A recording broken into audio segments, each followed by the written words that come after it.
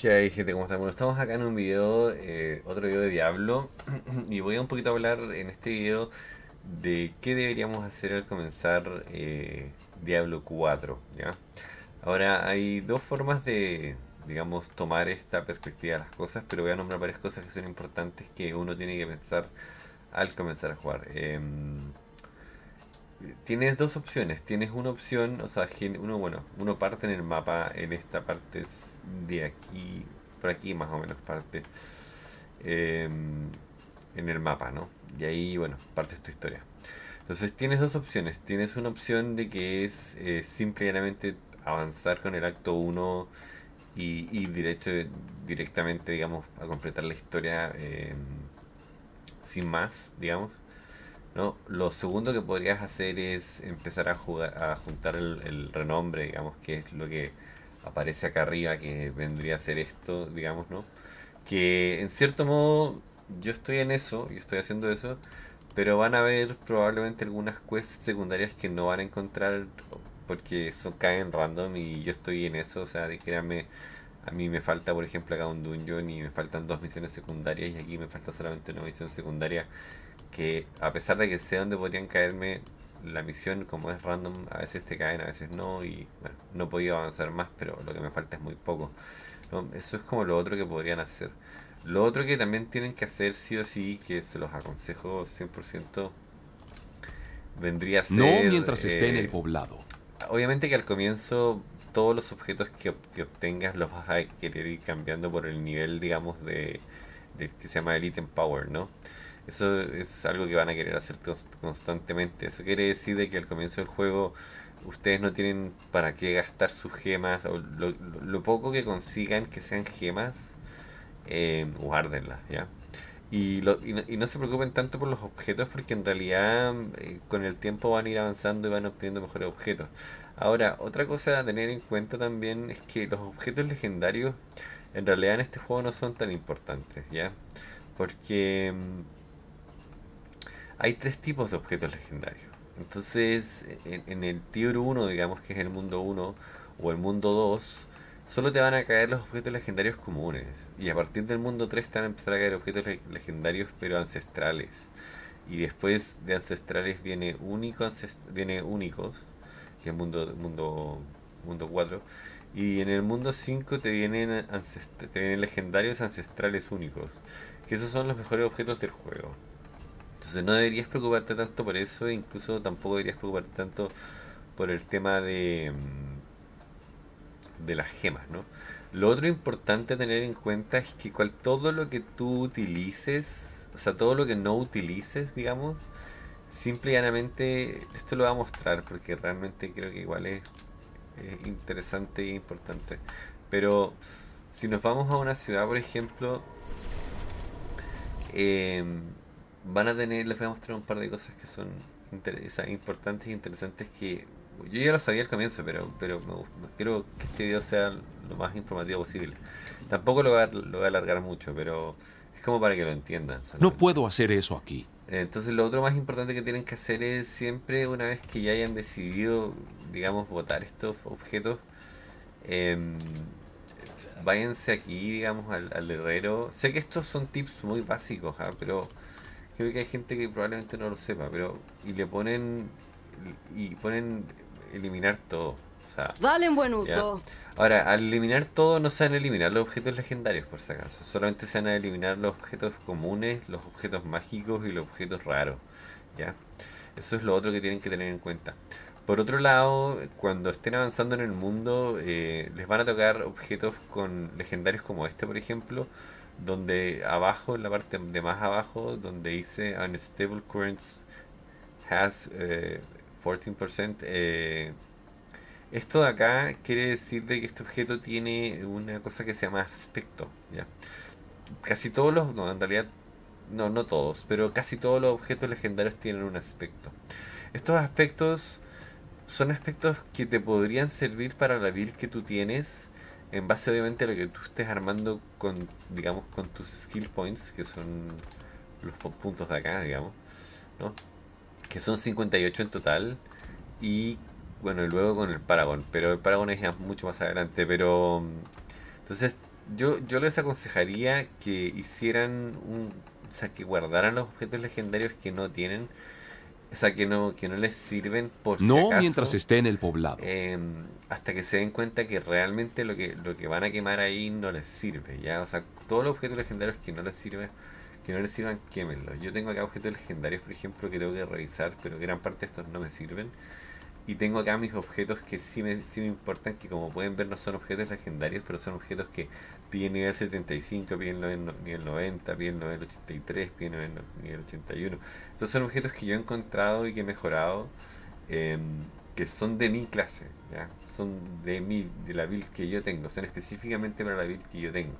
Y prácticamente tengo el set entero, me faltan solamente los, los guantes, es lo único que me falta. Em, no, y aquí tengo las gemas, por ejemplo. Entonces, esa es otra cosa o otro aspecto que tienen que tener en cuenta. Por otro lado, también es importante que de que el oro siempre tengan oro. Siempre intenten guardar oro porque reparar objetos en, el herrero es bastante caro. Al principio no es tan caro, pero después, cuando, no sé, mueres una, dos, tres, cuatro veces, vas a gastar mucho oro eh, en reparar objetos. Eh, y como les dije, no gasten cosas para mejorar sus objetos ya que realmente no lo vale. Yo esto lo mejoré solamente por la inteligencia, para poder avanzar en los Paragons. Pero nada más que por eso. Lo otro importante también a tener en cuenta, porque como esta va a ser una guía pequeña de tips y tricks, que son como consejos, de- de- digamos, del comienzo del juego, es que ustedes van a tener o van a ir acumulando en los eventos los puntos que están acá abajo, estos puntos de acá, que son obols, que son moraditos. Esos obols eh, sirven para sacar objetos legendarios. ¿ya? Esa es la actitud. Inténtalo. Hay una cosa que yo no sé si todo el mundo lo sabe, pero lo quiero explicar.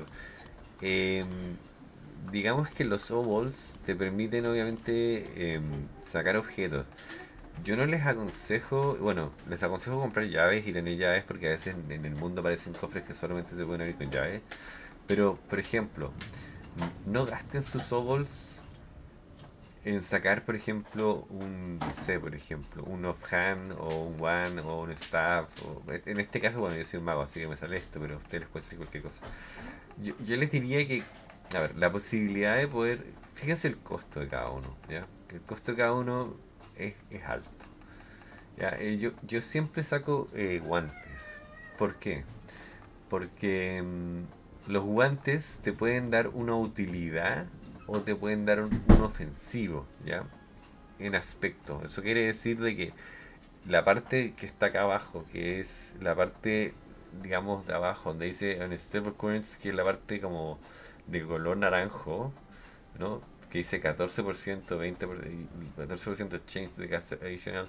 Esto es eh, esto es lo que te puede dar. ¿ya? Los aspectos son súper importantes dentro del juego porque se pueden. Puedes transformar un objeto raro a un objeto legendario. Ya haré un video explicando eso. Pero, por ejemplo, yo siempre gasto en esto. ¿Por qué? No está nada mal. Porque, claro, Bueno, la posibilidad de que te salga, No está nada mal. podría- podríamos decir, es baja. Sí, es baja. Acá me sale uno. Pero el único que te vale, o sea, el único que te puede dar un objeto ofensivo y a la vez te puede dar un objeto o una utilidad, que tanto el ofensivo como la utilidad se pueden utilizar, digamos, el ofensivo se puede utilizar en el one y la utilidad se podría usar en, alguna parte de tu set. Em, no sé, tienes un 20% de chance que te pueda tocar lo que tú estás buscando, ¿ya? Así que yo aconsejo que lo gasten en eso más que en conseguir un objeto legendario para ponértelo, ¿ya? Yo, les diría que esto se les va, les, va, les va a caer sí o sí en algún punto, digamos. No es que no es que no te van a caer objetos legendarios, a partir de nivel 40 te van a empezar a caer.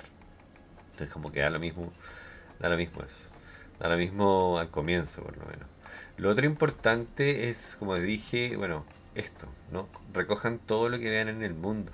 Porque estos objetos, bueno, estos so- son objetos que uno saca eh, rompiendo objetos legendarios o raros, ¿no? Y estos son objetos que se sacan em, por romper objetos raros. O sea, no, como mágicos.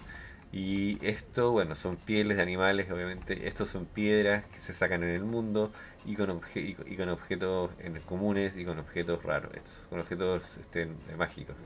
Y estos son las plantas que son para mm, sirven tanto para mejorar objetos como para crear pociones y ese tipo de cosas, ¿no? Em, ¿Qué más me falta explicarles?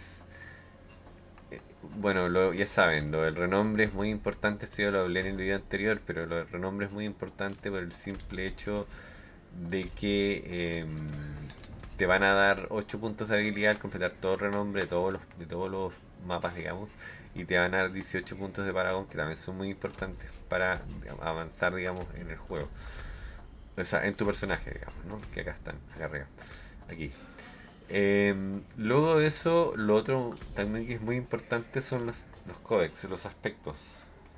No, ustedes se preguntarán qué es esto. Bueno, esto lo puedes eh, conseguir en ciertos dungeons que te los van a marcar en el mapa con un signo de cofrecito. O sea, digamos, digamos que te va a aparecer uno, un ejemplo, te va a aparecer uno de estos dungeons con un cofre arriba.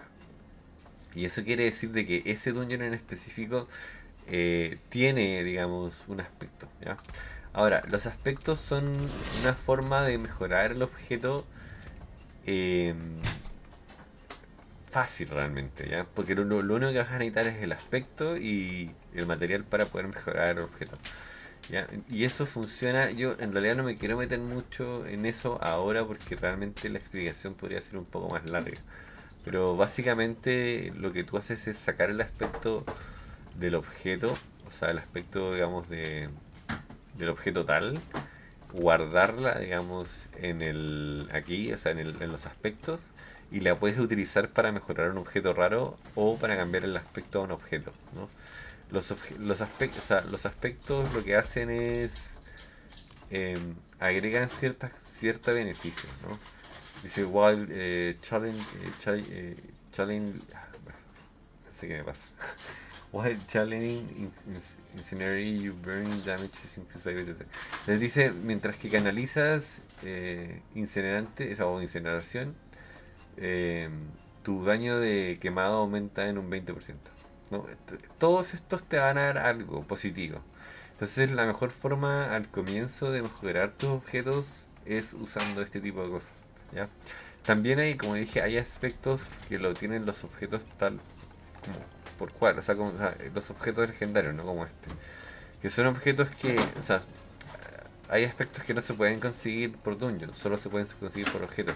Y generalmente, eh, bueno, no, no generalmente eh, dependiendo obviamente de la clase, los aspectos que generalmente son mejores o son siempre mejores son los aspectos que botan las armas, ¿ya?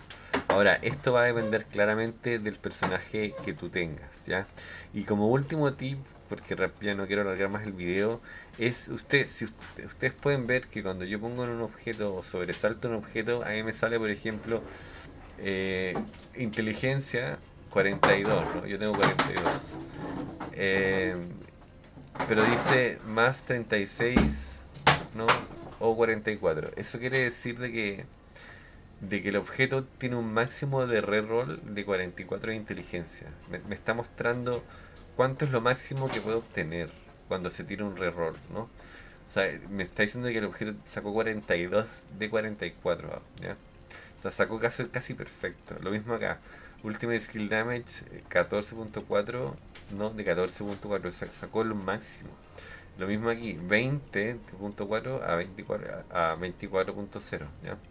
O sea, estos objetos cuando los mejores, en este caso si lo mejorara a más 4, puede llegar a subir eso.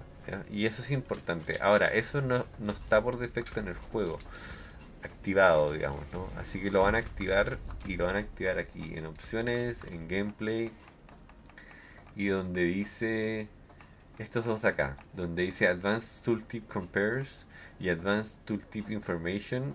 Estos aquí, si los activan, les va a dar la información exacta para que ustedes sepan qué tan bueno es el objeto. Activen estas dos opciones porque les van a servir mucho. Así que nada, ya saben, suscríbanse, like, contenido, compartan el canal y los veo en la siguiente. Cuídense.